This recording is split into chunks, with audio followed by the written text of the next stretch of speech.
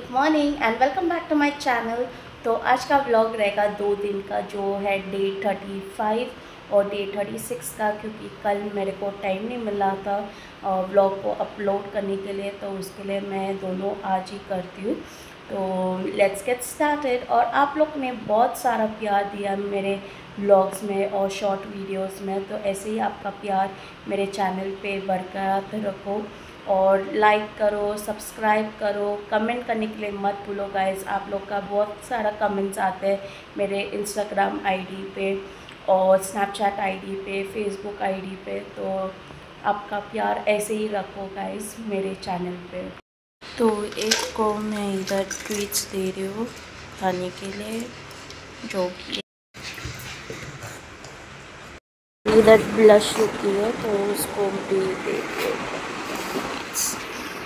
इधर आप देख सकते हैं, ब्लश जो है वो डेंटा स्टिक खा रही है और उसको बहुत पसंद है। इसको ये सुबह सुबह लगता है खाने के लिए। फिर उन लोग अच्छे से उन लोग थोड़ा टाइम सोते हैं। तो अभी हम लोग ब्लश को खाना दे रहे हैं चिकन और राइस उसका favourite all time eat mushroom को धो के रखा है और इधर हम लोग अभी काटेंगे ये सब मशरूम को। और फिर उसका बाजी बनाते हैं। ये हम लोग डे थर्टी फाइव का फास्ट खोल रहे हैं तो ये है ऑरेंज फिर ये है मशरूम सोटा फिर पानी, ये है रबड़ी ये है मसमेलन ये है छोले भटोरे और मिर्ची के अचार। आ जाओ गाइस फास्ट खोलने में और दुआ में मेरे को याद करो कि मेरा पूरा फास्ट जो है वो कंप्लीट हो जाएगा फोर्टी डेज़ क्योंकि तबीयत थोड़ा डाउन होते जा रहा है। जब तक दिन नज़दीक आ रहा है तो मुझे दुआ में रखना कि मेरा फास्ट जो है फोर्टी डेज़ का, वो अच्छे से जाएगा। अभी हम लोग लेके जा रहे हैं ब्लश को नीचे वॉक के लिए, क्योंकि वो रात को आई थी मेरे घर पे। और मैंने बेटी और ब्रेनिन को घर पे भेजा है तो अभी ब्लश आई है मेरे घर पे और रुकी है लिफ्ट के लिए फिर हम लोग नीचे आ गए चलने के लिए और ब्लश नीचे चल रही है अच्छे से। ब्लश को खाना जो है एग और राइस क्योंकि उसको बहुत अच्छा लगता है एग और राइस अच्छे से खाती है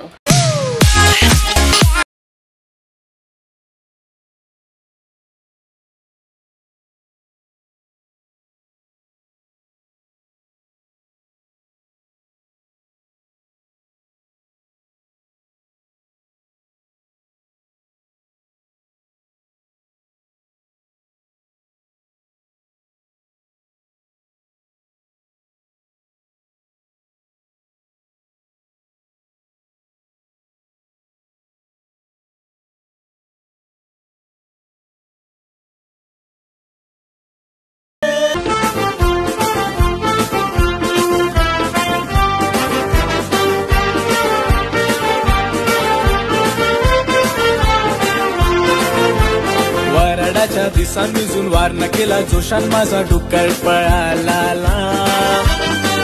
तो आज मैं बहुत कुछ शेयर करने वाली हूँ।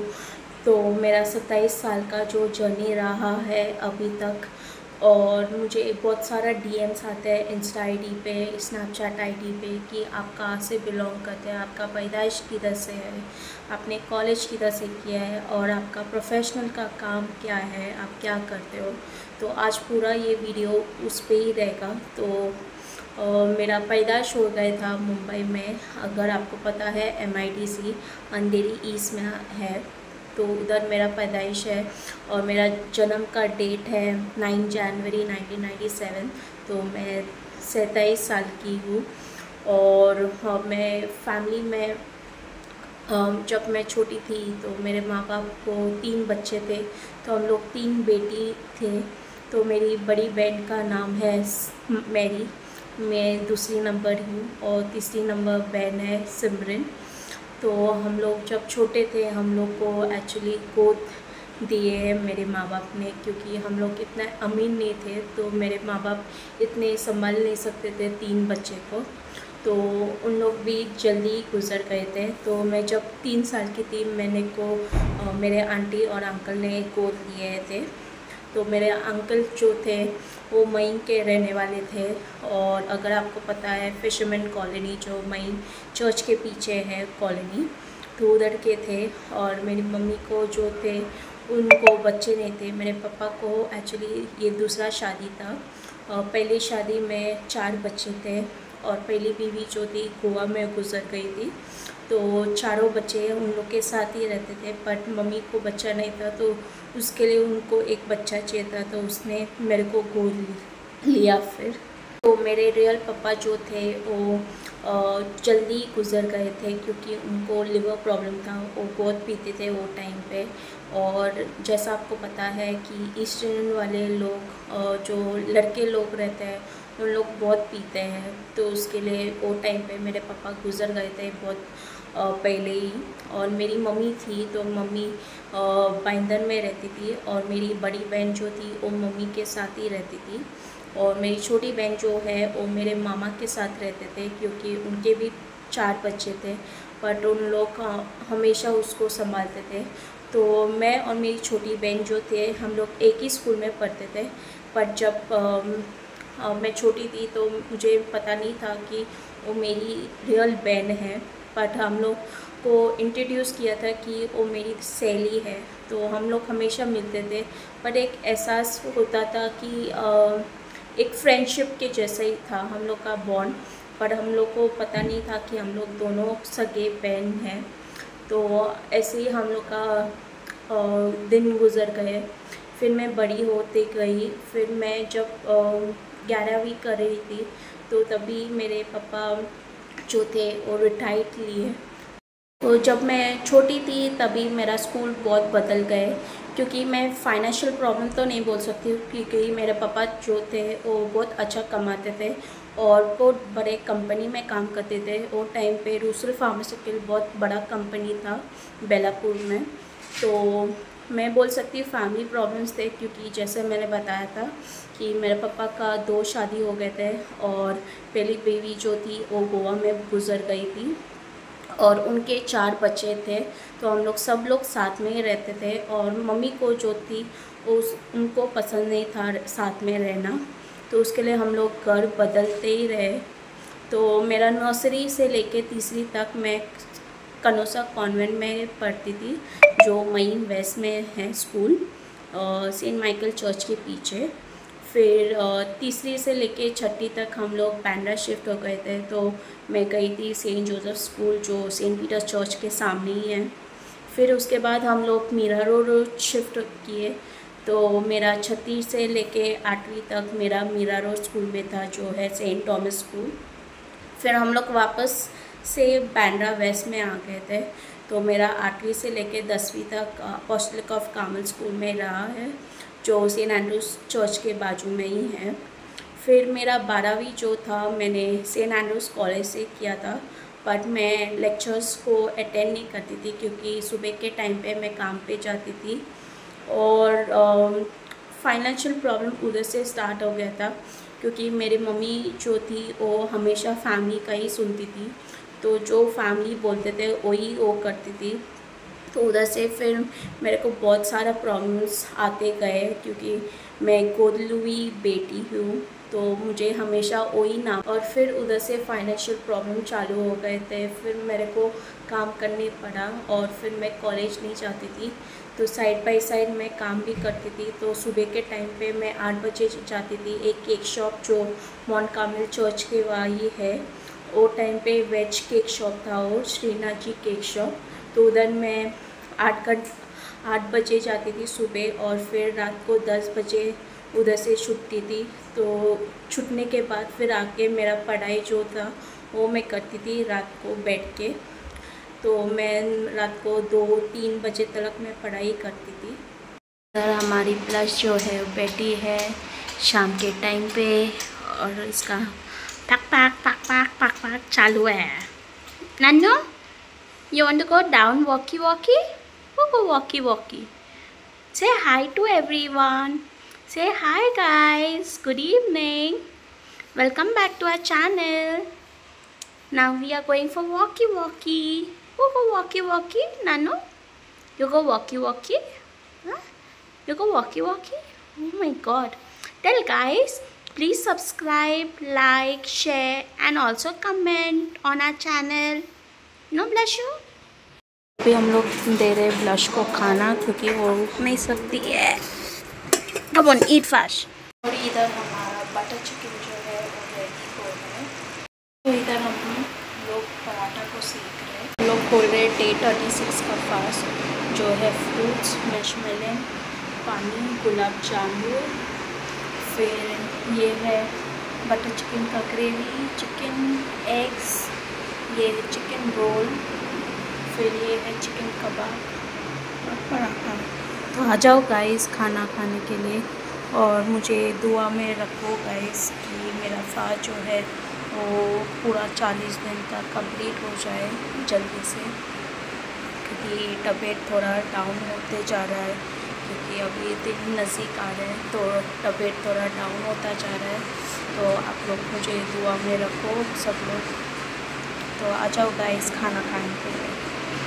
और स्कूल के टाइम से मैं हमेशा टॉप परफॉर्मेंस थी। मतलब मैं हमेशा हाई मार्क्स लेके आती थी मेरे एग्ज़ाम्स में और हमेशा लोग बोलते थे कि आपकी बेटी बहुत अच्छा करेगी लाइफ में बट एक बोलते हैं ना, नज़र लगती है एक बच्चे को। तो जब मैं ग्यारहवीं थी तो मेरा बोर्ड एग्ज़ाम्स थे।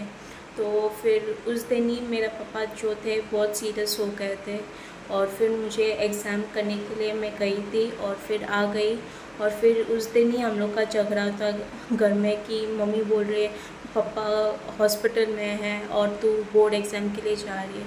मैंने बोला, पापा तो हॉस्पिटल है, मैं है, पर मैं देखने के लिए ही जाएगी ना? बट मेरा एग्ज़ाम्स भी इम्पोर्टेंट है, वो मेरा करियर के ज़िंदगी का सवाल है। तो उसके बाद फिर उधर से प्रॉब्लम स्टार्ट हो गए थे उन्हीं के लिए। तो मम्मी हमेशा जो था वो फैमिली का ही सुनती थी। जो फैमिली बोलते थे वो ही वो करती थी। हमेशा वो अपने भाई के घर पे रहती थी। भाई की बेटी लोग के साथ उन लोग हमेशा डिस्कस करते थे और फिर मम्मी आके हम लोग को परेशान करती थी बार बार आ, मतलब हमेशा पैसा मांगने का काम मतलब पापा को रिटायर्ड थे।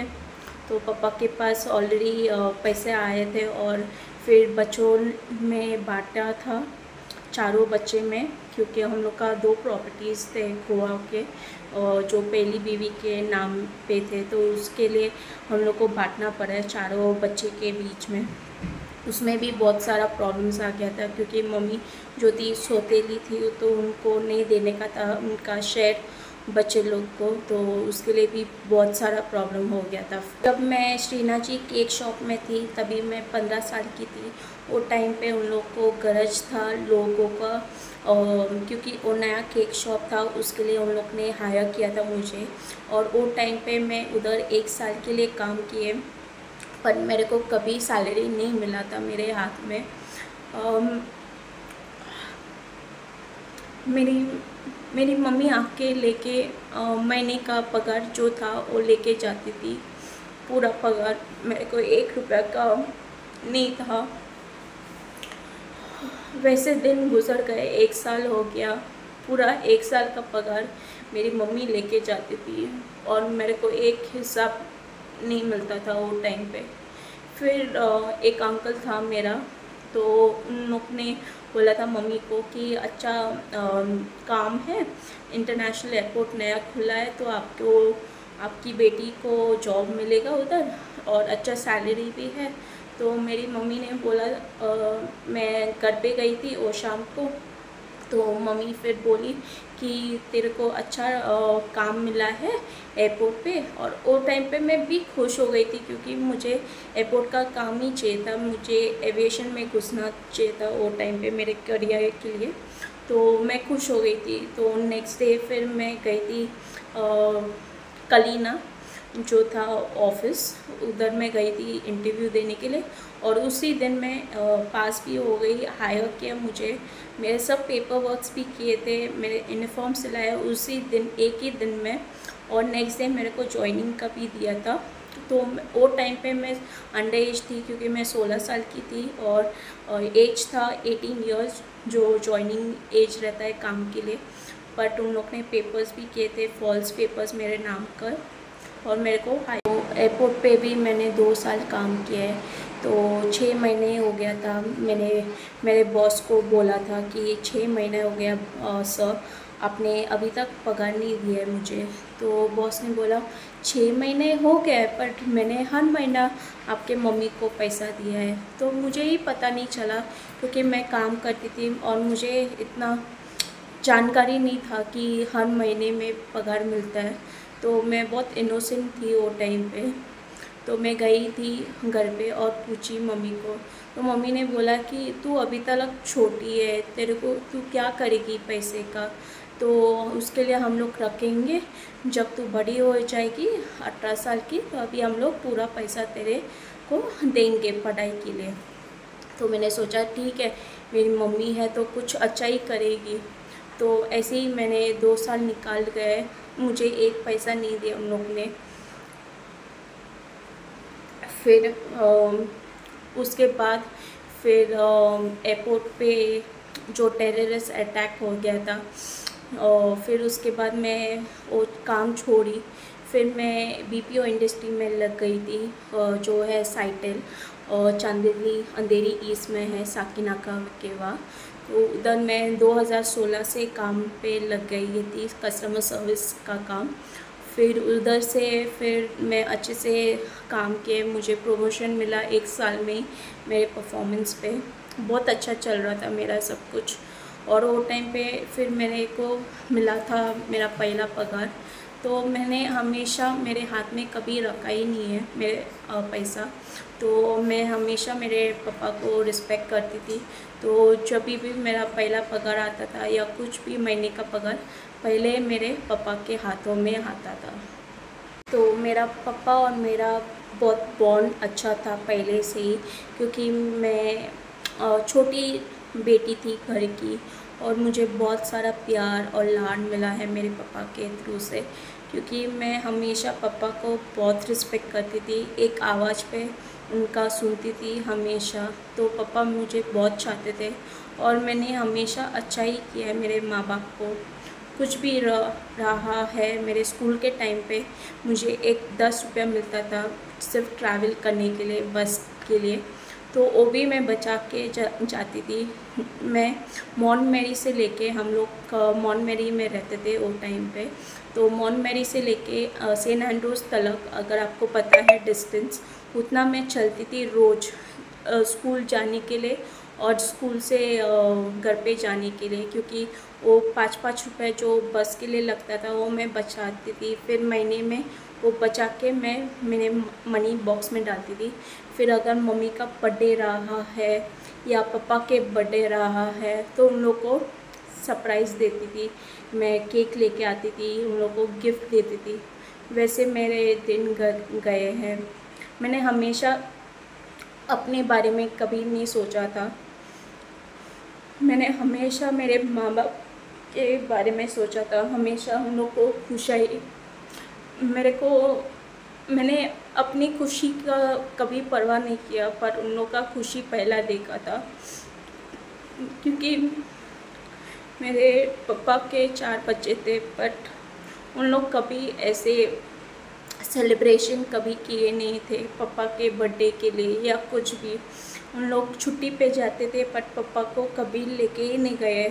उन लोग खुद पापा को बोलते थे कि हम लोग इधर उधर जाते हैं छुट्टी के लिए बट तो पापा के चारों बच्चे छुट्टी पे जाते थे क्योंकि उन लोग अच्छा कमाते थे वो टाइम पे बट पापा को कभी लेके नहीं गए थे छुट्टी पे और पापा का मन इतना जलता था कि मेरा बच्चा को इतना पढ़ाई लिखा गया है।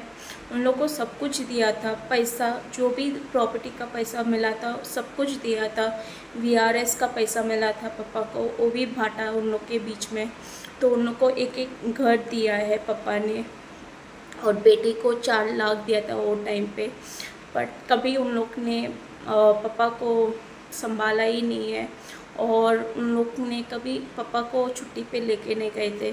तो वो टाइम पे मैं साइटल में काम करती थी और वो प्रोसेस था हायत का होटल तो उधर मैं हायत होटल के लिए रिजर्वेशन करती थी। तो हम लोग को साल का बारह महीने का छुट्टी मिलता था फ्री नाइट स्टे तो वो टाइम से चार साल में उधर काम किए।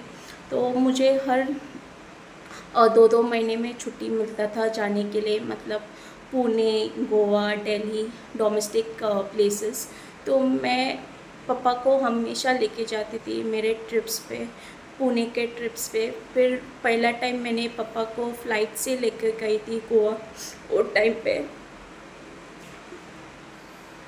वो टाइम पे पापा बहुत खुश हो गए थे क्योंकि उनका एक इच्छा था कि वो फ़्लाइट में एक टाइम बैठेंगे बट कभी उनके बच्चे ने वो सपना पूरा नहीं किया उनका। तो एक छोटी सी बेटी उन लोग ने गोद लिए, पर उसने उसका, उन लोग का सपना वो पूरा किया। तो दोनों को मैं लेके गई थी फ़्लाइट के थ्रू से गोवा, और उन लोग बहुत मज़े किए वो छुट्टी में। वैसे हम लोग का छुट्टी रहा है। अभी हम लोग लश को लेके जा रहे हैं। वॉक के लिए नीचे उसका टाइम हो गया है और लिफ्ट के लिए रुक गई है। ये बैठी है लिफ्ट के लिए। तो 2016 से मैं साइटेड में काम करती थी। तो प्रोसेस था हाइट होटल तो हम लोग को बहुत सारा बेनिफिट्स मिलते थे कंपनी के थ्रू से। तो हाइट होटल का फ्री नाइट स्टे मिलता था ट्वेल्व नाइट स्टे ईयरली तो हम लोग बहुत खुश थे, हम लोग छुट्टी पे जाते थे हमेशा पुणे, गोवा, दिल्ली और मेरा कॉन्फ्रेंस मीट भी रहता था तो मैं हमेशा घूमती रहती थी इधर उधर। तो एक बोलते हैं ना कि छोटा बच्चा रहता है, उन लोग का खेलने के दिन थे बट वो टाइम पे मैं काम पे जाती थी। बट मैंने कभी कंप्लेन नहीं किया कि मेरी ज़िंदगी ऐसा क्यों बन गया। मैं खुशी से मेरी ज़िंदगी गुजारती थी और किसको मैंने बताया भी नहीं आज तक इतने सालों में सत्ताईस साल जो हो गए मेरे। आ, मेरे परिवार में किसको पता नहीं है मैं कौन से टाइम से गुजर गई हूँ। बट आ, मेरे हमेशा एक हँसी हमेशा आती है मेरे चेहरे पे। अगर आप कभी भी मुझे देखेंगे तो एक उदास पन नहीं रहता है मेरे चेहरे पे तो आ, मेरा जो बचपन था वो बहुत बुरा था क्योंकि मैं हमेशा काम ही करती थी घर का काम। जब मैं स्कूल में थी तो मेरे को बहुत सारा ज़िम्मेदारी थे घर का। फिर मैं जब मैं आठ साल की थी तभी से मैं मॉडलिंग करती थी। मैंने इमेज मॉडलिंग से कोर्स लिए थे जू जूक में है वो ऑफ़िस तो उधर से मैंने कोर्स भी किया है एक्टिंग का कोर्स फिर उसके बाद मैं मॉडलिंग में लग गई थी तो फिर परिवार की वजह से वो भी मेरा छूटा। तो बहुत सारा सपना जो है, अधूरा ही रह गया मेरे। तो जब मैं छोटी थी, मेरा एक सपना था एयर होस्टेस बनने का, क्योंकि हम लोग के घर में ज़्यादा लड़की लोग जो थे, वो एविएशन में ही इंडस्ट्री में ही थे। तो उसके लिए मुझे भी सपना था कि मैं भी अपना पूरा वर्ल्ड घूमूँ फ़्लाइट से फ्री ट्रैवल खाना पीना वो सब मेरा एक सपना था। तो मैंने भी वैसे ही पढ़ाई किया था और पढ़ाई ख़त्म हो गया था। तो मैंने सोचा था कि मैं मेरा एविएशन का ट्रेनिंग करेगी बट पैसे के वजह से मैंने किया ही नहीं। फिर उसके बाद मैंने इंटरव्यूज़ दिए अलग अलग एयरलाइंस में इंडिगो एयरलाइंस में जेट एयरवेज स्पाइस जेट गोए मैं सब पास होती थी बट लास्ट राउंड जो रहता था जो ट्रेनिंग का कम, वो कंपनी के थ्रू से रहता था तो वो टाइम पे हम लोग के पास इतना पैसे नहीं थे क्योंकि डैड रिटायरमेंट में थे और फिर उसके बाद उस उन लोग ने पैसा भी बांटा तो कुछ पैसा नहीं था डैड के पास। तो हम लोग कैसे भी दिन गुजरते थे और फिर मेरा जो ट्रेनिंग का सपना था एविएशन का वो अधूरा ही रह गया। बट जब मैं एयरपोर्ट पे काम करती थी इंटरनेशनल एयरपोर्ट ग्राउंड स्टाफ के लिए। एक साल का मैंने ट्रेनिंग लिया था। फिर उसके बाद मैंने इंडिगो में इंटरव्यू दिया था और वो टाइम पे मैं पास भी हो गई थी। और वो टाइम पे फ्री ट्रेनिंग था एविएशन के टाइम इंडिगो के लिए। तो मेरे को ऑफ़र लेटर भी दिया था। मैं दिल्ली गई थी। छः दिन का ट्रेनिंग था मेरा। मैंने ट्रेनिंग कंप्लीट किया। पर जब मेरे को ऑफ़र लेटर मिला, उस दिन हम लोग का घर में बहुत बड़ा प्रॉब्लम हो गया था, क्योंकि मम्मी को राज़ी नहीं थी मेरे को भेजने के लिए। तो जिस दिन मेरा ऑफ़र लेटर आया था इंडिगो एयरलाइंस से, और मेरा वो टाइम पे पासपोर्ट भी बना था, मेरे डायरी ने किया था तो उस दिन ही मैं घर पे नहीं थी, मैं काम पे गई थी, तभी मैं साइटल में काम करती थी। तो मुझे एक्चुअली मेल आया था कि आपका ऑफ़र लेटर जो है, वो डिलीवरी हो गया घर पे। तो मैं बहुत खुश हो गई थी कि चलो मेरा सपना जो है, वो पूरा हो रहा है। तो मैं बहुत खुश हो रही थी कि मैं कब घर पे पहुँचेगी, कब मेरा ऑफ़र देखेगी। बट जब तक मैं घर पे पहुँची, वो टाइम पे मेरा ऑफ़र लेटर जो था, मम्मी ने फाड़ के रखा था। मेरा पासपोर्ट जो था, वो भी फाड़ के रखा था। ये सिर्फ़ फैमिली के वजह से उसने किया है, बस। वो बहुत मुझे चाहती थी। मैं बोल नहीं सकती कि मम्मी चाहती नहीं थी मैं मुझे बहुत चाहती थी बट फैमिली के वजह से उसने ये हर कुछ कदम किया है कि मेरा करियर करियर जो था वो बर्बाद होने के लिए, क्योंकि मैं हमेशा जो भी रही हूँ, मेरा बेस्ट देती हूँ मैं परफॉर्मेंस में, और जो भी काम किए आज तक मैं हमेशा अच्छा ही करती हूँ। तो उन लोग को देखने के लिए नहीं हो गया था क्योंकि उन लोग के बच्चे लोग एविएशन में थे और फिर मैं एक एडॉप्टेड बच्ची हूँ। तो मुझे हमेशा वही नाम से बुला गया है मेरे फैमिली में। तो किधर भी मैं जाती थी या कुछ भी प्रॉब्लम्स होते थे घर पे या कुछ तो मम्मी पापा हमेशा वही नाम का टैग लेके जो मेरी बच्ची जो है एडॉप्टेड है, कुछ फ़ीस कम करो, वो सब। तो मैं ऐसी हमेशा जो भी साल रहा है, वही टैक्स के नाम से मैं पहचान गई हूँ अभी तक। फिर मैं आई थी घर पे देखने के लिए मेरा ऑफ़र लेटर तो मैंने देखा कि एनवेलोप जो है, वो फाड़ के रखा है, मेरा पासपोर्ट जो है, फाड़ के रखा है। तो मैंने मम्मी को पूछा, ये क्यों किया है? तो मम्मी बोल रहे है, नहीं, हम लोग तो अकेली बेटी है, हम लोग के लिए तो जाएगी, कुछ होएगा तो हम लोग क्या करेंगे? तो वो टाइम पे मैं, मैंने भी सोचा कि हाँ माँ बाप बोल रहे हैं तो ठीक है माँ बाप अच्छे के लिए ही बोलते हैं। तो फिर वो सपना मेरा अधूरा ही रहेगा वो टाइम पे।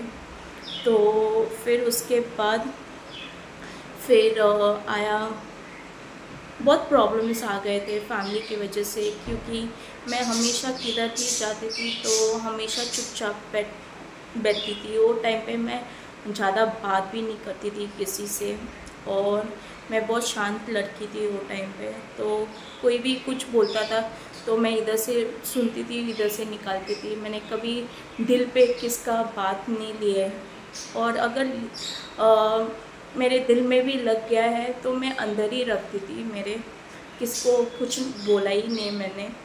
क्योंकि मुझे पता था कि मुझे हमेशा ये एक टाइम मिलेगा कि तू एडॉप्टेड है तू ये नहीं कर सकती है तो वो नहीं कर सकती है। तो हम लोग एक्चुअली देखते हैं कि गाँव में होता है ऐसा कि बेटी कुछ नहीं करने का, क्योंकि उन लोग पढ़ाई कर की है। एक ना तो एक दिन उन लोग ससुराल जाएँगे। तो क्या फ़ायदा इतना पढ़ के काम करने का? बट ये एक मॉडर्न फैमिली में हो गया। हम लोग एक मॉडर्न फैमिली को बिलोंग करते हैं और ये मेरे घर पे ही हो गया है मेरे साथ। तो मैं हमेशा सोचती थी, ये मेरे साथ ही क्यों होता है? तो वो टाइम से मैं डिप्रेशन में गई थी, क्योंकि हर कुछ मैं चाहती थी करने के लिए, मेरे करियर में या मेरे ज़िंदगी में। मैं, वो कुछ कभी किया ही नहीं है। अगर एविएशन की बात करती हूँ तो वो सपना अधूरा है। अगर मॉडलिंग के खाब देखती थी तो वो सपना भी अधूरा है। तो एक टाइम आया था कि मैंने सपना देखने के लिए छोड़ दिया। मैंने ऐसे ही ज़िंदगी गुजार गई।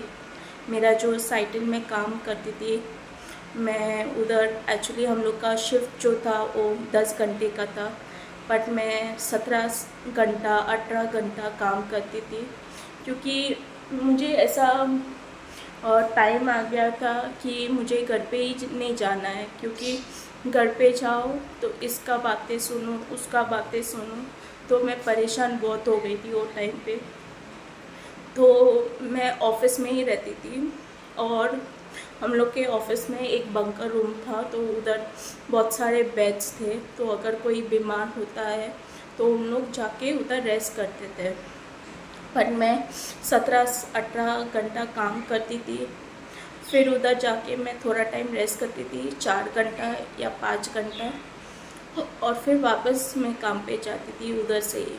तो ऐसा मेरी ज़िंदगी हो गया था। फिर एक दिन आती थी, कपड़ा लेके जाती थी, फिर वॉशरूम में, मेरे ऑफ़िस के वॉशरूम में ही चेंज करती थी, वापस काम पे। तो एक बार एक लड़की मेरे ऑफ़िस में ही काम करती थी। उसने देखा कि, उसने मुझे पूछा कि, जानस, तू घर पे क्यों नहीं जाती है? मैंने हमेशा देखा तो इधर बंकर रूम में सोती है चार या पाँच घंटा और फिर वापस शिफ्ट पे आती है।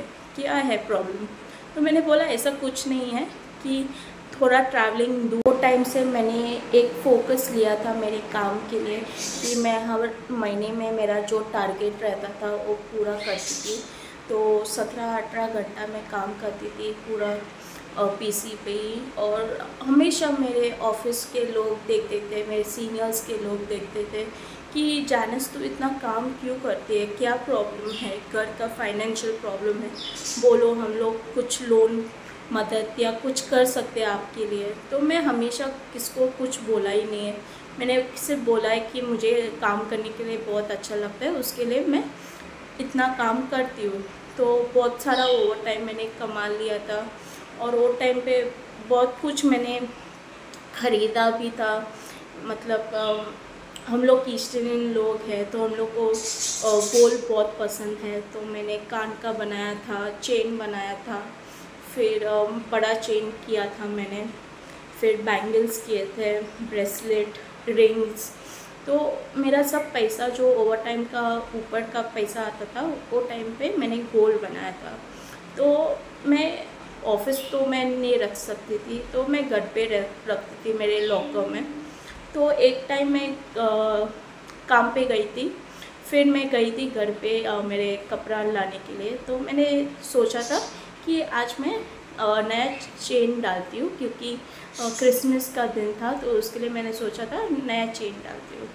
तो मैं गई थी मेरे कबर्ड में देखने के लिए कि मैं चेन डालेगी। तो मैंने लॉक खोला उस दिन और देखा तो चेन ही नहीं है। तो मैंने मम्मी को पूछा कि, मेरा चेन किधर है? नया चेन? मैंने लॉकर में रखा था। तो बोल रहे हैं, नहीं, पता नहीं कौन लेके गया। अभी घर में से हम लोग सिर्फ़ दो लोग हैं तो कौन लेके जा सकता है? तो मैं बहुत शौक हो गई थी, क्योंकि वो टाइम पे मैंने अपना खुद के लिए कुछ नहीं किया था, पर मैंने गोल्ड में इन्वेस्ट किया था, सोचा कि मैं कुछ अच्छा करेगी मेरे लिए बाद में काम आएगा, जब शादी होएँगे। क्योंकि मुझे हालात पता था मेरे घर के लिए कि मेरे माँ माँ बाप को कुछ शादी का कोई खर्चा नहीं उठाएँगे। तो उसके लिए मैंने खुद से ही कुछ गोल्ड ख़रीदा था कि बाद में काम आएगा। फिर मैं परेशान हो गई थी बट मैंने किसको कुछ नहीं बोला था कि मेरा चेन गुम हो गया। मैंने सोचा, ठीक है घर वाला ही रहेगा, क्योंकि हम लोग सिर्फ़ मम्मी और पापा तो पापा हमेशा बहुत अच्छे थे। और पापा का ज़रूरत भी नहीं था कि वो चेन घुमा सकता है। और आते तो जाते लोग मम्मी के ही रिश्तेदार थे। तो मैंने सोचा अभी किसको क्या बोलूँ और किस पे इल्ज़ाम भी डालूँ। तो मैंने ऐसे ही बात को निक, निकाल दिया है। मैं काम पे जाती थी। फिर मेरे को इतना डिप्रेशन हो गया था वो टाइम पे क्योंकि मैंने हमेशा अच्छा ही सोचा था हर किसी का। जो भी मेरे साथ हो गया था मैंने सब भुला दिया और मम्मी को बहुत सारा प्यार दिया था। जब भी उसको पैसा चाहिए था मैं बेचती थी। मैं काम पे ही रहती थी ज़्यादा टाइम। तो उसके बाद फिर आ, मैं डिप्रेशन में चली गई थी। फिर मैं सिक्सटी टैबलेट्स लेती थी क्योंकि मुझे दिन का रोशनी जो था वो नफ़रत हो गया था। कि लोग क्यों ऐसे करते हैं? एक घर में एक लड़की है, वो अच्छी है उसके माँ बाप भी अच्छे हैं तो एक घर को क्यों बर्बाद करने का ऐसा? सिर्फ़ पैसे के लिए या प्रॉपर वैसे भी मैंने बहुत टाइम मेरे फैमिली में मदद की है, क्योंकि मेरी मम्मी की छोटी बहन जो थी, वो मॉन मेरी में रहती थी तो उनका सिचुएशन थोड़ा अच्छा नहीं था वो टाइम पे। तो उन लोग के बच्चे को कपड़ा, पैसा, जो भी था, मैं जो भी कर सकती थी वो टाइम पे मैं करती थी। तो मम्मी हमेशा बोलती थी, उसको इतना ज़रूरत है, मैं दिए है पैसे। मैंने पूछा भी नहीं किसके लिए, क्यों है। मैंने हमेशा आग बंद करके दिए है, क्योंकि मैं मम्मी पे विश्वास करती थी पूरा। और फिर मुझे हमेशा टाइम मिला है कि वो एडॉप्टेड है। किधर भी जाती थी, हम लोग बोलते थे हाँ ये हम लोग की एडॉप्टेड बेटी है। मुझे हमेशा बेटी के नाम से नहीं बुलाया है। और फिर ऐसी ज़िंदगी बीती गई है। फिर मेरे को टाइफाइड हो गया था ट्वेंटी वन में। तो वो टाइम पे बहुत सीरियस हो गया था, क्योंकि मुझे बुखार आता था और सर्दी।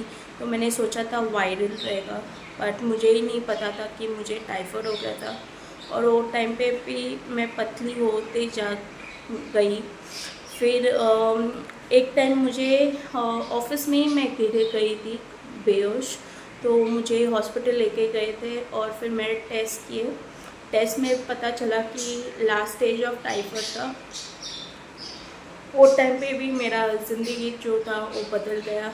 मैं दो महीने हॉस्पिटल में थी। मम्मी आती नहीं थी देखने के लिए, क्योंकि इसके परिवार ने बोला था वो अकेली है, उसको अकेली जीने दो, उसको पता चलेगा ज़िंदगी क्या है। तो मैं दो महीने हॉस्पिटल में ही थी और फेस करती थी मेरा हर प्रॉब्लम अकेले। तो टाइफाइड ने मेरा ज़िंदगी पूरा चेंज किए, क्योंकि वो टाइम पे मैं बहुत अच्छी दिखती थी और फिर क्या पता किसका नज़र लग गया मुझे या कुछ।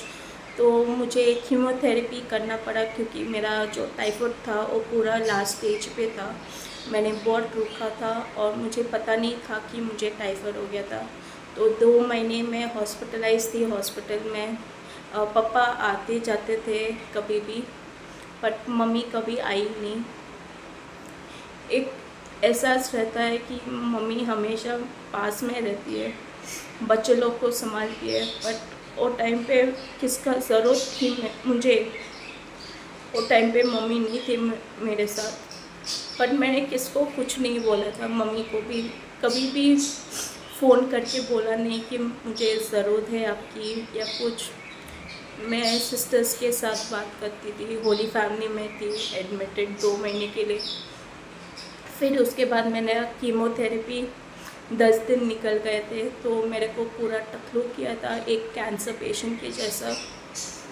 वो टाइम पे भी मेरा ज़िंदगी जो था वो पूरा चेंज हो गया था, क्योंकि कैंसर पेशेंट को पता है उनका तकलीफ़ क्या होता है इंजेक्शन्स कितने पेनफुल होते हैं।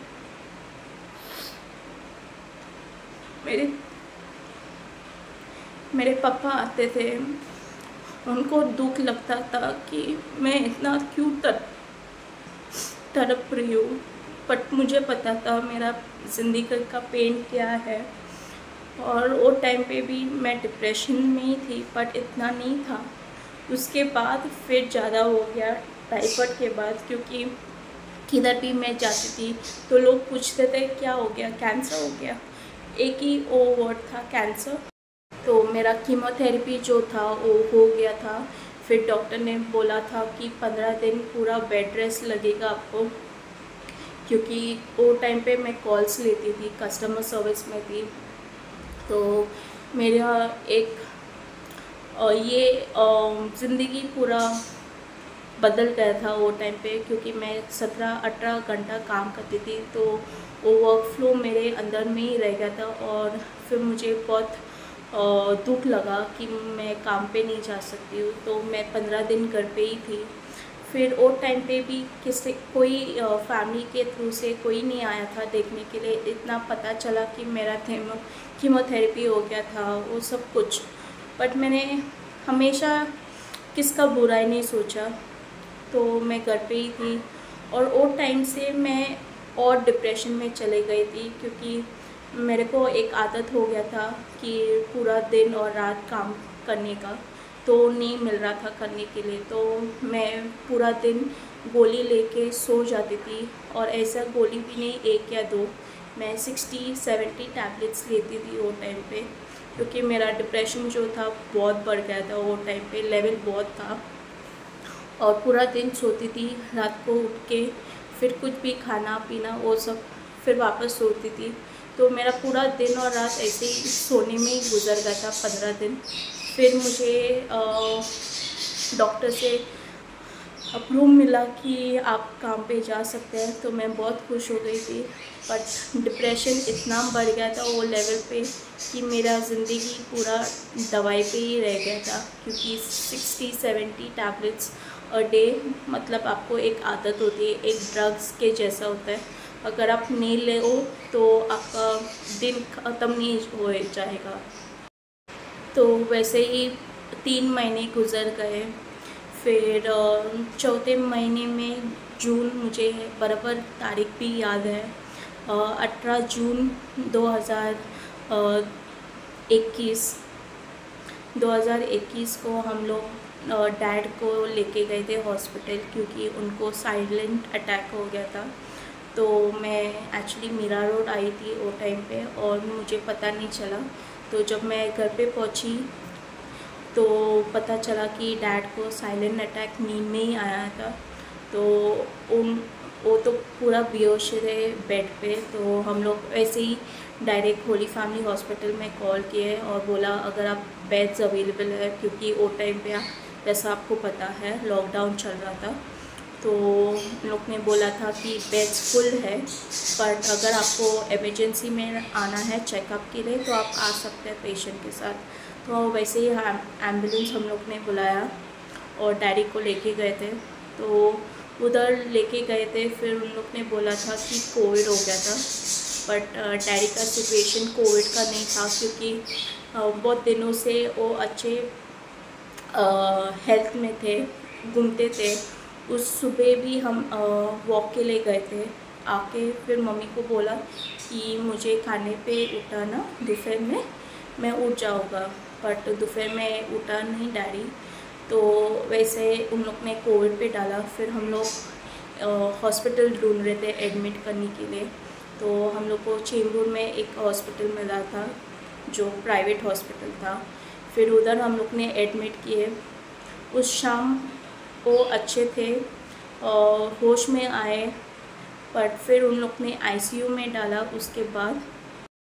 तो नेक्स्ट डे आईसीयू में डाला था तो उस सुबह मैं लास्ट मेरे डैड को देखा आईसीयू में। हर पाइप से उनके मुँह में और उस दिन पुलिस कंप्लेन हो गया था। तो पुलिस आया था इन्वेस्टिगेशन के लिए बट मैं घर पे नहीं की तो मम्मी से पूछताछ किए और उस रात, एक दिन पहले रात तो मैंने जब हम लोग हॉस्पिटल लेके जा रहे थे तो मैंने देखा एक होल है मेरे डैड के गले में और वो कभी निशान हम लोग ने देखा ही नहीं था। तो मुझे डाउट आया था, कुछ तो कुछ हो गया था घर पे। तो मैं चुपचाप बैठी थी क्योंकि मुझे कुछ पता नहीं था तो मैं कुछ बोल भी नहीं सकती थी। तो उस दिन फिर दोपहर में उन लोग ने बोला था, हम लोग को इन्फॉर्म किया कि डैड का सिचुएशन जो है, ख़राब होता जा रहा है तो हम लोग उसको वेंटिले वेंटिलेटर पे डालेंगे। तो शाम को फिर उन लोग ने ट्रांसफ़र किए हैं उनको वेंटिलेटर पे और फिर ट्वेंटी फ़र्स्ट जून 2021 में उनका इंतकाल हो गया। मैं पूरी शॉक में थी क्योंकि मैं डैड के साथ बहुत अटैच थी। डैड, मेरे डैड नहीं थे, वो एक फ्रेंड के जैसे ही थे। कुछ भी होता था, मैं उनसे शेयर करती थी पर मम्मी का जो भी परेशान उसने किया है मुझे या कुछ फैमिली इश्यूज़ के लिए, मैंने कभी डैड को बोला ही नहीं है। क्योंकि डैड जो थे, बहुत स्ट्रिक्ट थे हम, मेरे, और एक आवाज़ पे हम लोग उनके बात सुनते थे।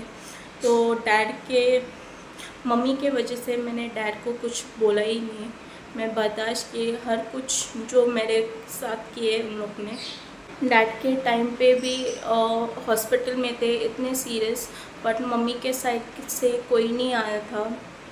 पापा के साइड से उनके बच्चे आए थे, उनकी बेटी थी, प्रीति मिनेजस, और फिर उनके तीसरे नंबर बेटा था, जॉनी मिनेजिस। और उन लोग हमेशा हम लोग के साथ ही रहे बट मम्मी के वजह से हम लोग के बीच में बहुत कुछ प्रॉब्लम्स थे। कभी भी बच्चे लोग कॉल करते थे पापा के लिए तो मम्मी कॉल उठाती थी और फिर बोलती थी कि पापा घर पे नहीं है बट पापा घर पे ही थे। तो ऐसा बहुत कुछ प्रॉब्लम हो गया था। उन लोग बोलते हैं ना कि एक सौतन बीवी आती है तो सब कुछ चेंज करती है। तो वैसे हम लोग के घर पे हो गया था कि मम्मी सौतन थी और बच्चे लोग से मिलने के लिए भी मना करती थी। उन लोग बोलते थे, बहुत झगड़ा होता था। अगर डैडी बेटे के वहाँ जाते थे, मीरा रोड, फिर आके पूरा तमाशा होता था फाइट्स होते थे, बहुत कुछ प्रॉब्लम तो मैं हमेशा प्रॉब्लम से ही गुज़र गई थी बट मैंने कुछ नहीं बोला।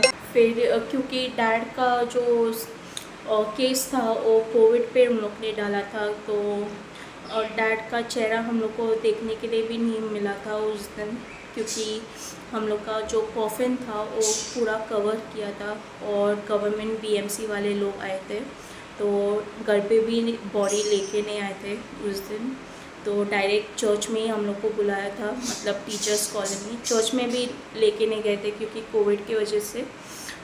सिचुएशन उन लोग को चर्च में मास्क नहीं बोलते थे। तो हम लोग डायरेक्ट टीचर्स कॉलोनी जो खार में है, उधर गए थे।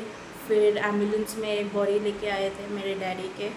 पर हम लोग को ये पता नहीं है कि वो हम लोग के डैडी है कॉफिन में, क्योंकि चेहरा देखने के लिए नहीं मिला। तो वो टाइम पे हम लोग रो भी नहीं सकते। एक अंदर से दुख था कि डैडी गुज़र गए थे। एक शौक था, क्योंकि मैं हमेशा रोज़ मेरे डैडी को देखती थी। और डायरेक्ट कभी भी वो बीमार भी पड़ते थे, घर पे आते ही थे हॉस्पिटल से। ये पहला टाइम था कि हॉस्पिटल से ही डैड गुजर गए, घर पे आए नहीं। तो मैं अंदर से बहुत टूट गई थी वो टाइम पे। बट फिर एक सहारा लगता है, एक माँ माँ बाप के पीछे रहती है। बट वो टाइम पे डायरेक्ट फ्यूनरल से ही मम्मी जो थी, वो अपने फैमिली के वहाँ गई थी। मैं अकेली घर पे थी। मैं बहुत रोई उस दिन क्योंकि मैं डैडी से बहुत अटैच थी। डैडी का प्यार जो था बहुत था मुझे। तो उस रात मैं पूरी रात जागी थी घर पे। मैं सोई नहीं थी पूरी रात में रो गई थी। और फिर नेक्स्ट मॉर्निंग सुबह मम्मी आई और फिर एक अलग ही एरा था। कुछ रोना धोना कुछ नहीं उसके उदासपन कुछ नहीं था उसके चेहरे पे। फिर मेरे साथ बात की उसने कि आ, क्या करना है, अभी डैडी का जो भी घर है या कुछ। तो मैंने बोला, अभी तो डैडी गुज़र गए, एक दिन भी नहीं हो गए और आप, और वो सब पूछ रहे फिर मेरे को बोल रही है कि शाम को आपको गॉड मदर के वहाँ आना है खुल्ला हम लोग उधर बातचीत करेंगे फैमिली के साथ क्या क्या करना है। तो फिर हम लोग गए थे खुल्ला उधर। मेरी बड़ी बहन थी फिर मेरी आंटी जो छोटी मम्मी की छोटी बहन थी, फिर मेरी गॉड मदर थी, उन लोग सब लोग बात कर रहे बात कर रहे और सडनली फिर मेरी छोटी आंटी बोलती है कि तूने क्या किया अपने माँ बाप के लिए? तो मैंने बोला, इतने साल से जब मैं 16 साल की थी, तभी से मैं काम करती थी। मैंने फैमिली को संभाला है, मेरे घर को संभाला है।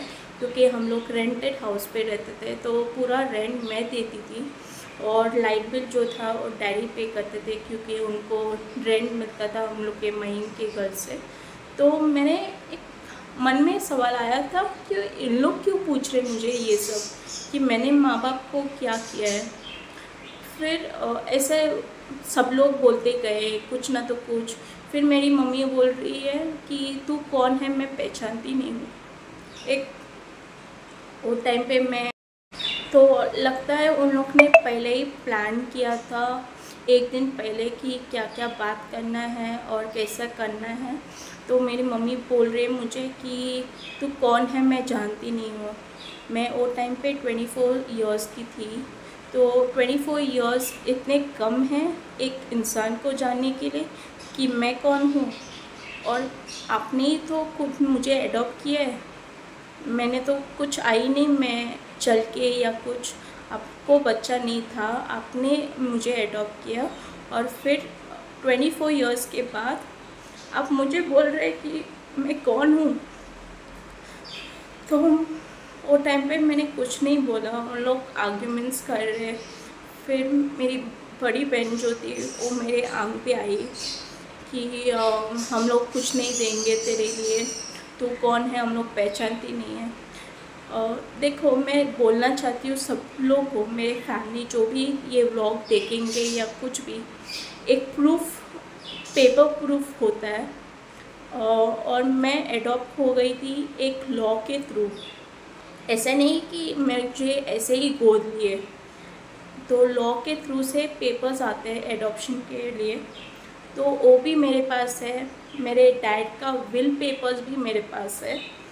तो अगर एक बच्ची को जस्ट एक दिन पहले पापा गुजर गए नेक्स्ट डे आप लोग प्रॉपर्टी और पैसे के लिए झगड़ा कर रहे हैं, ऐसा फैमिली होता है। मैंने पहले बार ऐसा देखा था तो मैं कुछ नहीं बोल सकती वो टाइम पे। मैं वैसे फिर मैंने मम्मी को पूछा, क्या करना है इसके बाद? तो मम्मी ने बोला है तो अगर इधर रहना चाहती है तो इतना इतना पैसा देना पड़ेगा। तो मम्मी ने फिर डिमांड किया कि अगर मेरे साथ रहना है तो तेरे को बीस हज़ार महीने का देना पड़ेगा, लाइट बिल जो है पे करना पड़ेगा। तो मैंने सोचा कि अगर ये है, मैं एक बेटी हूँ, एक काम वाली भाई या कुछ नहीं है कि आप लोग का सब कुछ उठा सकती हूँ कि मेरे हिम्मत थे इतना, मैं बड़ी, इतना भी नहीं हो गई थी उस वो टाइम पे कि हर कुछ कर सकती हूँ। और ऐसा नहीं थी कि मेरे मम्मी के लिए इनकम नहीं था, क्योंकि हम लोग का दो घर था मई में। एक बेटे के नाम पे था दूसरे बेटे के नाम पे और एक पापा के नाम पे थे। तो आ, बेटा भी जो रेंट था वो पापा को देते थे। तो वो भी इनकम था हम लोग का घर का भी इनकम था। तो मम्मी बोलती थी डिमांड किए। तो फिर सब लोग बोलते हैं क्यों रखना है उसको? उसको जाने दो ना वो रहेगी अपने खुद के दम से। तो फिर मैंने कदम लिए कि मैं अलग जाएगी। उन लोग ने बोला था कि तेरे लिए ये घर बंद है आज से। तू कौन है? हम लोग पहचानती नहीं है। फिर मैंने वैसे भी तैयारी किए एक दिन में फिर मैंने घर देखा रेंट पे बोरेवली वेस्ट में, योगी नगर। तो उधर मैं शिफ्ट हो गई थी रेंट पे।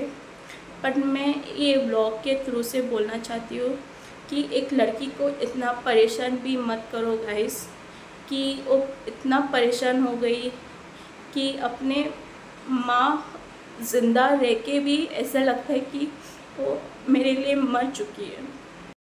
तो मैं शिफ्ट हो गई थी बोरेवली वेस्ट में और मैं काम पे भी चाहती थी तो नाइट शिफ्ट करती थी फ़र्स्ट सोर्स में काम करती थी वो टाइम पे। तो मेरे को बहुत सारा प्रॉब्लम हो गया था क्योंकि पापा गुज़र गए थे। मुझे हर दो दो दिन में सपना पढ़ते थे पापा के लिए, क्योंकि पापा बहुत अटैच थे मेरे और बहुत प्यार करते थे। तो हमेशा सपना में ही आते थे उनको। फिर वैसा मेरा जो थिंकिंग प्रोसेस था, वो बहुत हाई होते गया, क्योंकि मैं कैसी बहुत इनोसेंट और सॉफ्ट हार्टेड की लड़की हूँ तो मुझे दिल पे बहुत लगता है। और मैं किसको कुछ बोलती नहीं हूँ। मैं अंदर ही रख के रख के फिर मेरे को ही वो प्रॉब्लम देता है। तो वैसे फिर मेरा प्रॉब्लम जो था, वापस डिप्रेशन का प्रॉब्लम वापस आ गया। मुझे अटैक्स आते थे रात को, क्योंकि मैं अकेली रहती थी घर पे। और ऐसा लगता था कि घर मुझे खाएगा। और ऐसा लगता था कि एक चार दीवार के बीच में मैं अकेली पड़ी हूँ बंद घर पे। तो वो टाइम पे डिप्रेशन इतना बढ़ गया था कि रोज़ मैं गोली लेती थी, सत्तर, अस्सी गोली और फिर सो जाती थी। लोगों को पता नहीं था मेरा प्रॉब्लम्स क्या है, मैं किधर हूँ। मैं तीन साल ऐसे ही गुज़र गए। किसको पता नहीं था मैं किधर हूँ, किधर रहती हूँ, जो भी है, मैं किसी से बात भी नहीं की। मैं हमेशा बैंड्रा जाती थी क्योंकि हम लोग का जो काम था, सलोन का काम, वो बैंड्रा में ही था एंटोन का। तो मैं हमेशा मेरे तो मैं हमेशा बैंड्रा से ही गुजरती थी, मेरे बाज़ार के गलियों से। मैंने मेरे आंटी दूर के रिश्तेदार को देखा था एक टाइम। तो उन लोग ने बोला था तू किधर रहती थी? वो टाइम पे भी मैंने उनको बताया नहीं था, सच कि मैं किधर रहती हूँ। मैंने रॉन्ग एड्रेस दिया था उनको। बट फिर उसके बाद मेरा दिन ऐसे ही गुजर गए तीन साल मम्मी के बिना। एक दुख लगता था कि मम्मी रह के भी मेरे पास नहीं है। क्योंकि मैं बचपन से लेके ट्वेंटी फोर ईयर्स तक जो मैं मेरा मम्मी के घर पे गुजर गया, मैं रहती थी, नहीं थी मम्मी के बिना। मैं छुट्टी के लिए भी जाती थी, मेरे आंटी के वहाँ या कुछ स्कूल की छुट्टी के लिए। दो दिन में वापस आती थी, क्योंकि घर का याद आता था। मैं कभी इतना लॉन्ग टाइम पे कभी अकेली नहीं रह गई मेरे लाइफ में। बट अभी तीन साल जो है, मैं अकेली ही रहती हूँ। एक अंदर से खाता है मुझे कि क्यों ऐसा होता है, किसके ज़िंदगी में? हम लोग बोलते हैं, हर किसी के प्रॉब्लम्स होते हैं, हर किसी के ज़िंदगी में प्रॉब्लम्स होते हैं, पर हम लोग अपने आप को ब्लेम करते हैं क्यों मेरे साथ ही होता है। तो वैसे दिन गुजर गए, मैं बीमार होते गई फिर मुझे एक दिन जो था, मैं फ्रिज के वहाँ मैं गिर गई थी और पता नहीं चला था किसको भी। तो एंथोन के पास चावी था वो काम से आया था। तो उसने दरवाज़ा खोला और मुझे देखा कि मैं बेहोश हूँ। तो मुझे डायरेक्ट हॉस्पिटल लेके गए थे। तो फिर उधर बहुत सारा प्रॉब्लम्स आता है मुझे। तो मैं एडमिटेड हो गई तो ऐसा नहीं था कि मुझे पता नहीं था किसने मेरा आ, सोना जो था मेरा गोल्ड चोरी किया। मुझे सब कुछ पता है। किसने लिया है किसके पास है सब कुछ पता है। पर मैंने किसको आज तक कुछ बोला नहीं है। क्योंकि देखो भगवान इतना दुनिया बनाया है। उनको पता है कब उनको पनिशमेंट देना है। और मैं कोई नहीं होती हूँ, उनको पनिशमेंट दे के उनको कुछ फ़ायदा नहीं होएगा। उन लोग एक साल, दो साल जेल में रहेंगे या कंप्लेन एफआईआर में करेगी तो कंप्लेन होएगा। बट उन लोग का ज़िंदगी जो है ना, वो बाद में उनको पता चलेगा। क्योंकि उन लोग का भी औलाद है, उन लोग के भी दो बच्चे हैं। उनको आएगा, एक दिन तो ज़रूर आएगा। जो मैं गुज़र गई थी, मेरे डिप्रेशन के ज़िंदगी, जो दिन थे, इतना बढ़ गया था कि मैं पागल होती थी घर पे। मुझे पता नहीं चलता था मैं क्या करती हूँ। उसके लिए फिर मैंने बंद किया था बाहर जाने के लिए, क्योंकि मेरा डिप्रेशन का प्रॉब्लम ऐसा होता था कि मैं क्राउड देखती हूँ तो मैं बेहोश डायरेक्ट होती थी। तो मेरा अंदर के शरीफ के अंदर पूरा ड्रग्स ही भरे थे। क्योंकि सिक्सटी सेवेंटी टैबलेट्स मैं लेती थी और ऐसे भी नहीं है स्ट्रॉन्ग टैबलेट्स नहीं थे स्ट्रॉन्ग टैबलेट अगर आपको पता है डोलो डोलो एक पेन किलर है तो मैं वो डोलो एक लेते हैं तो हम लोग को नींद आते हैं तो टाइम पे मैं सेवेंटी एटी टैबलेट्स लेती थी। फिर मैं साइक्रेस्टिक डॉक्टर के पास गई थी, क्योंकि मेरा डिप्रेशन जो था बहुत बढ़ गया था तो डॉक्टर ने मुझे थेरेपी दिया था, फिर उसके बाद मुझे दवा दिया। भी बहुत स्ट्रॉन्ग स्ट्रॉन्ग दवा थे, क्योंकि मैं वो टाइम पे ट्राई का ज़ीरो पॉइंट फाइव लेती थी। फिर मेरे स्लीप के लिए टैबलेट्स लेते थे डॉक्टर ने ही दिया था। और फिर मेरा माइंड के लिए कूलिंग और काम होने के लिए वो दवा लेती थी। फिर ऐसे तीन महीने गए मुझे नॉर्मल ज़िंदगी जीने के लिए। फिर बहुत प्रॉब्लम्स आ गए थे, क्योंकि मेरे लव लाइफ ज़िंदगी में भी मैं एंथन को मिली थी फेसबुक के थ्रू से। तो हम लोग 2020 2020 में मिले थे और फिर हम लोग को अभी साढ़े तीन साल हो गए। और लव ज़िंदगी में भी बहुत सारा प्रॉब्लम्स अप्स एंड डाउन हो गए थे। अभी मैं बोलना ही नहीं चाहती हूँ, एक टाइम आएगा, मैं ज़रूर बोलूँगी।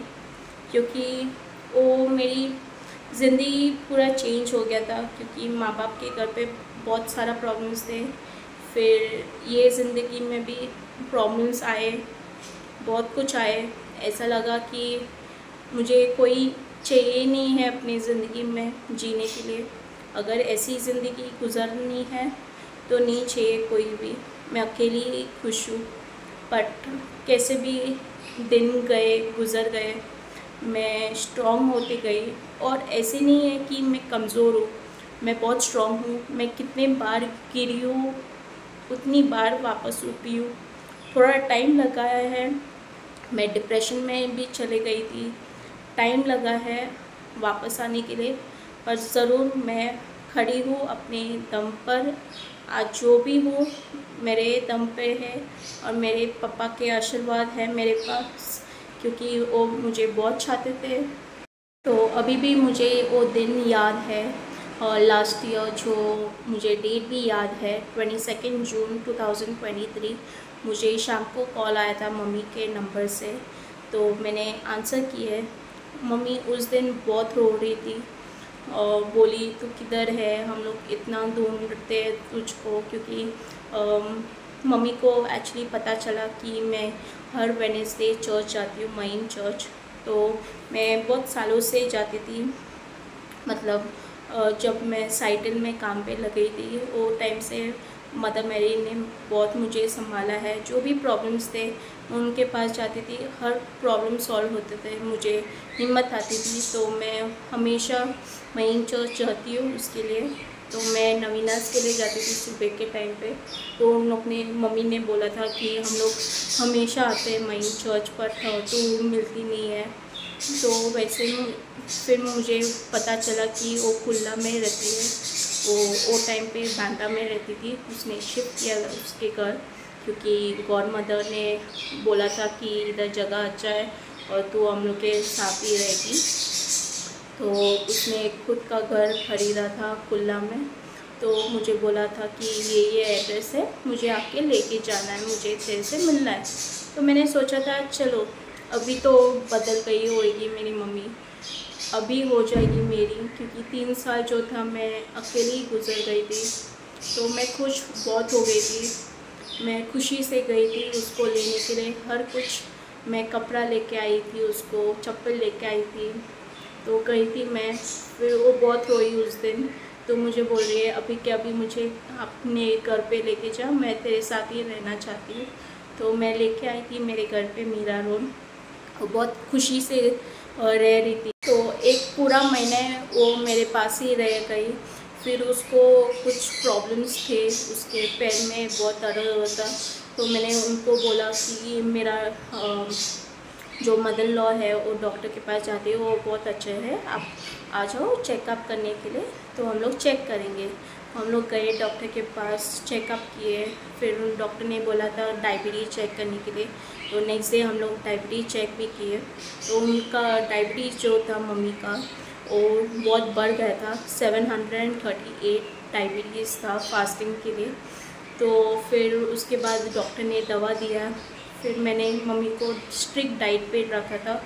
हर सुबह मैं करेला जूस देती थी उनको, जो भी मेरे से हो पा, पाया मैंने किया। फिर पंद्रह दिन का डॉक्टर ने बोला था चेकअप के लिए वापस आना है। तो हम लोग गए थे चेकअप के लिए वापस टेस्ट किए। और भगवान का इतना शुक्र है कि डायबिटीज़ पूरा तरीका से गया है। रिपोर्ट्स पूरा नॉर्मल था. डायबिटीज़ पूरा कम्प्लीटली क्लियर हो गया था उनका. तो एक मेरेकल हो गया था वो टाइम पे कि मेरे हाथों से मैंने सब कुछ किया जो मेरे से हो पाया बट उनका डायबिटीज़ चला गया. फिर वो कैसी मैं जाती थी कभी भी बैन रखे हुआ तो मैं उनको घर पे छोड़ती थी. तो उनको टीवी देखने के लिए बहुत शौक था. तो नहीं आती थी वो। तो मैं जाती थी बैंड्रा तो एक टाइम मुझे पता चला कि वो फ़ोन पे बात कर रही है और दरवाज़ा नहीं खोल रही है। तो मैंने देखा था बाथरूम का लाइट जो है बाहर से वो चालू था। तो आई भाग भाग के और बोल रही है, मैं बाथरूम में नहा रही थी। मैंने बोला, ठीक है। दिन गुजर गए। फिर एक दिन मैं काम कर रही थी घर पे ही मतलब बैल्कनी को धो रही थी। तो मेरी गॉड मदर का कॉल आया। तो भाग के कॉल लिए मम्मी ने और बाथरूम में जाके बंद किया दरवाज़ा और बात करे आहिस्ते से कि मेरे को सुनाई नहीं देगा। तो मैंने सोचा, ऐसा क्यों कर रही है? अगर बात ही करना है। मैंने तो मना नहीं किया किसी से बात करने के लिए या कुछ अपना आंटी का फ़ोन आता है या कुछ। फ़ोन बात करो, पर मेरे से तो करो, जो भी है। तो वो बाथरूम में जाती थी। किसका भी कॉल आता था आंटी का या गॉड मदर का या बहन का, वो बेडरूम में ही जाके बात करती थी या बाथरूम में। तो मुझे डाउट आया तो किस, कोई तो प्लानिंग हो रहा है। तो फिर उसके बाद एक दिन मुझे बोल रहे कि मुझे ना घर पे जाना है मेरा सामान जो है, वो मुझे लेके आना है इधर। तो मैंने बोला, ठीक है। अगर घर पे ही जाना है, मैं शाम को जा रही हूँ बैनरा। मेरे साथ आ जाना। मैं आपको छोड़ती हूँ उधर। जो भी सामान है लेके आना मेरे साथ ही घर पे। वापस क्यों ट्रेन से या बस से जाना है? मैं गाड़ी से ही जा रही हूँ तो मेरे साथ ही आना। तो मेरे बोल बोल रही है, नहीं नहीं, मेरे को अभी जाना है, क्योंकि गॉड मदर जा रही है बाहर, उसके पास चाबी है। तो मैंने बोला, ठीक है। तो उनके पास जो है पंद्रह दिन पहले हम लोग गए थे छोटी बहन के वहाँ मम्मी का सोना जो था तो मम्मी के पास एक्चुअली बहुत सोना था वो टाइम पे। तो हम लोग गए थे लेके आने के लिए क्योंकि मम्मी खुद ने बोला कि मेरा सोना उधर है तो मेरे को चाहिए तो हम लोग जाके लेके आएँगे। तो हम लोग गए थे फिर मुझे पेपर साइन करने पड़े क्योंकि आ, मैं बेटी रह के भी मुझे इस पेपर्स पे साइन करना पड़ा सोना लेने के लिए, हम लोग का खुद का सोना। और मुझे लगा था कि ये कुछ प्लानिंग नहीं था, उन लोग का कुछ प्लान था।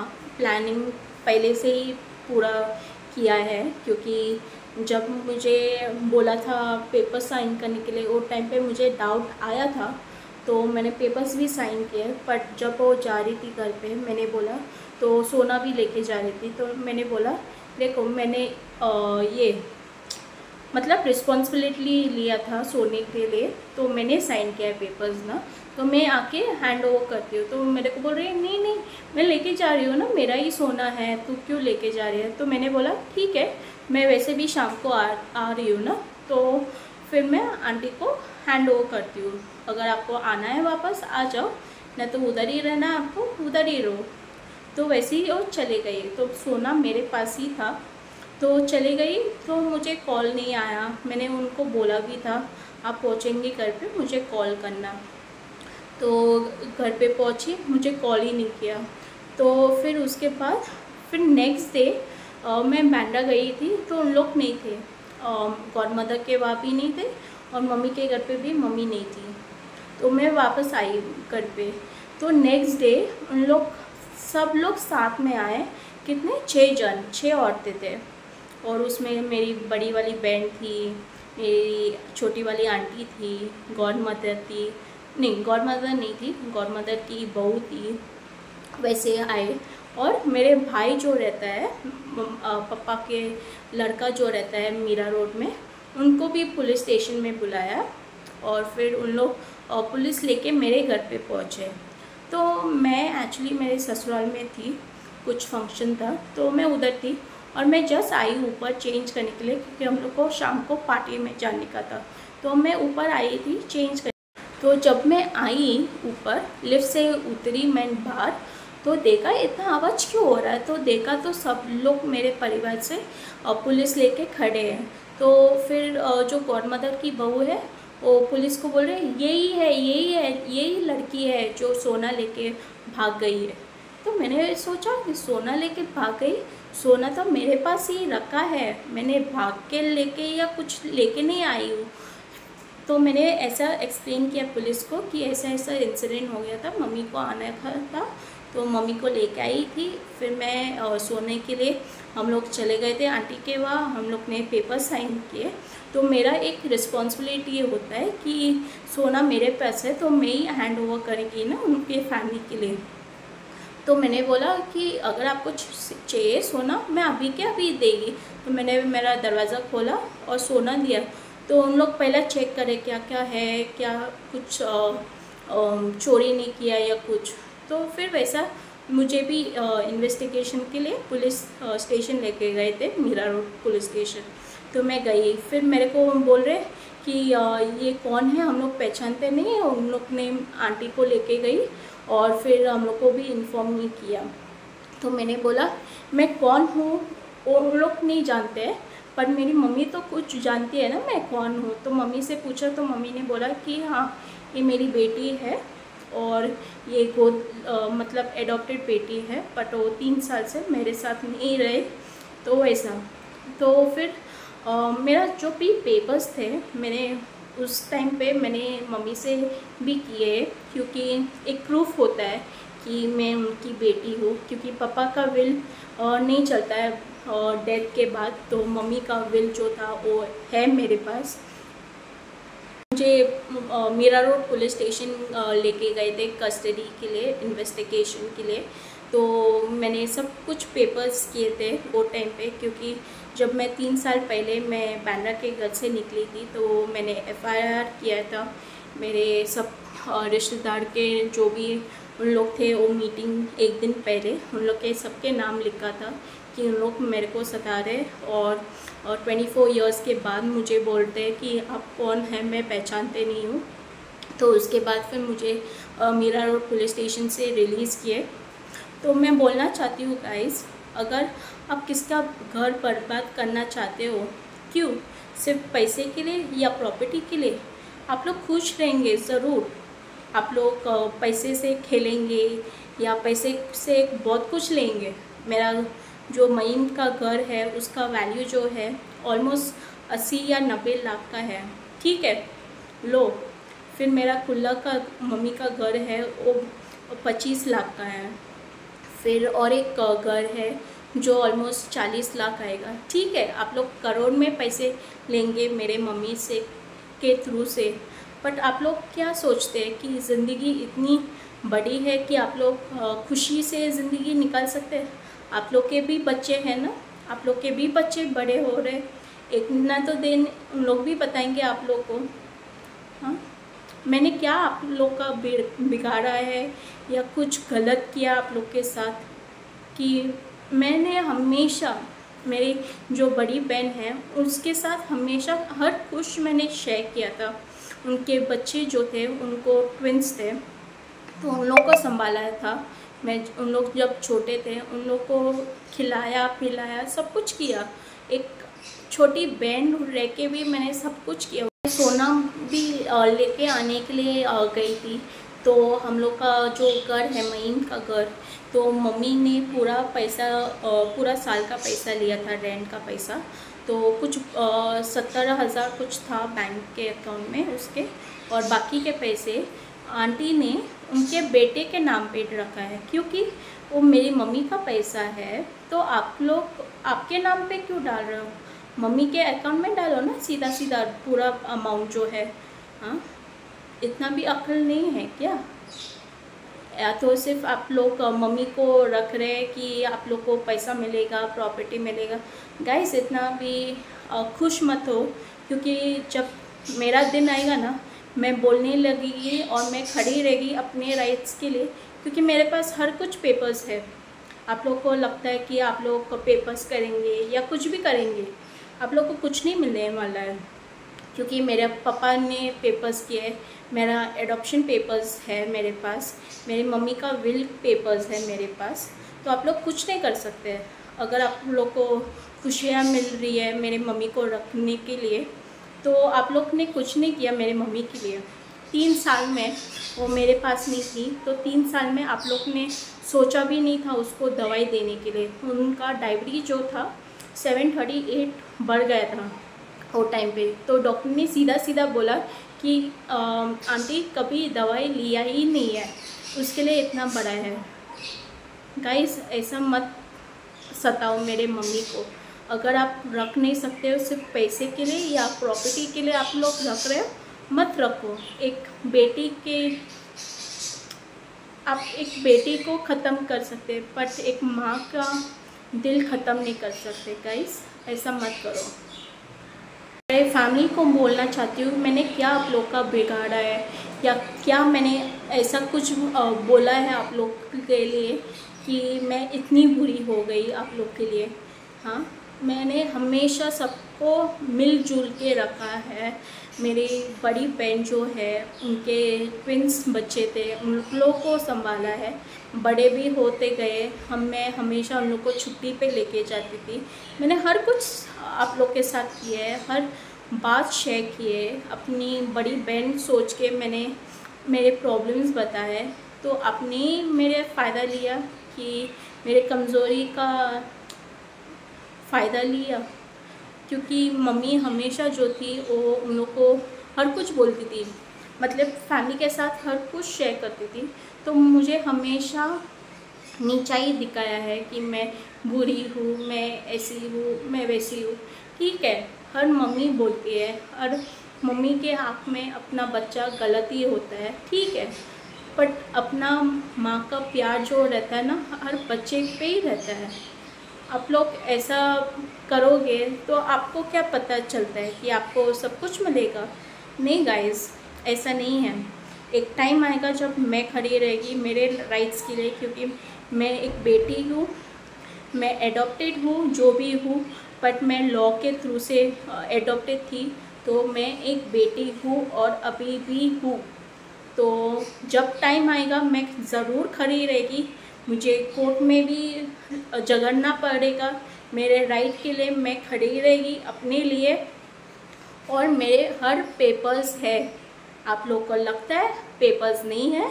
गाइस प्रूफ पेपर्स पे ही पता चलता है लॉ में और कोर्ट में पेपर्स ही चलते हैं।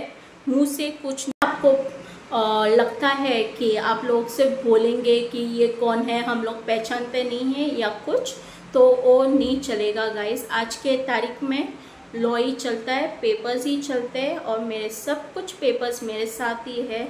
घर के पेपर्स भी मेरे पास ही है। आप लोग पेपर्स भी बनाएँगे। कुछ नहीं होएगा। ज़रूर कुछ नहीं होएगा। पर मैं बोलना चाहती हूँ कि आप लोग का भी दिन आएँगे ज़रूर, क्योंकि आप लोग ने बहुत सताया मुझे, बहुत तकलीफ़ दिया है। पर मैंने किसको कुछ नहीं बोला है। ना मैं किसको खोजेगी या कर्ज करेगी बट भगवान भी ज़िंदा है। भगवान हर किसी का हिसाब लेगा। और दुनिया इतनी भी बड़ी नहीं है कि आप लोग बच सकते हो। तो एक दिन आप लोग का भी आएगा, रोने का ज़रूर आएगा। आप लोग के भी बच्चे हैं, आप लोग के भी बच्चे बड़े हो रहे। तो ये दिन आपको ज़रूर आएगा। तो इतना भी खुश के ज़िंदगी मत जियो। तो जो भी है, अगर आपको सॉल्व करना है तो मुझे कांटेक्ट करना। मेरे मम्मी को मेरे पास भेजना। क्योंकि मुझे, मेरी मम्मी का ज़रूरत है, ज़रूर ज़रूरत है। वो कितनी भी दूर रही है मेरे से या कुछ भी, आज तक मेरे दिल में हमेशा ज़िंदा है। जो भी उसने सताया, उसकी खुद से ने सताया, उसको बोला गया है। और मुझे भी पता है कौन बोलता है, कौन किसके पास क्या है। हर कुछ का सवाल है मेरे पास, पर मैं चुप बैठी हूँ। जब टाइम आएगा, मैं ज़रूर बोलेगी और मम्मी मेरे पास ही रहेगी ज़रूर। ये टाइम ज़रूर आएगा, आप लोग याद रखो। ये मेरा वादा है।